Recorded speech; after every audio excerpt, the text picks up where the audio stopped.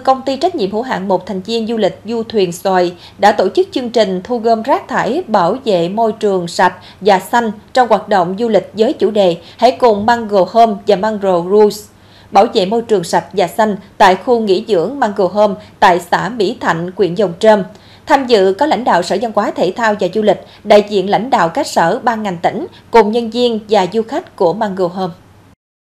Tại chương trình, đại diện lãnh đạo Bangkok Home cho biết, hiện nay tình trạng rác thải và ô nhiễm môi trường đang là vấn đề nhức nhối không chỉ của địa phương mà còn của cả quốc gia. Từ đó, Bangkok Home nhận thấy tầm quan trọng của việc bảo vệ môi trường nên đã phát động chương trình bảo vệ môi trường đến với mọi người, trong đó có du khách đến tham quan và nghỉ dưỡng tại Bangkok Home. Sau đó, lực lượng chia thành 4 nhóm tiến hành thu gom rác thải ven các tuyến đường tỉnh và tuyến đường nông thôn trên địa bàn xã Mỹ Thạnh. Rác thải được tập kết tại sân banh trường tiểu học Nguyễn Ngọc Thăng, xã Mỹ Thạnh để xử lý.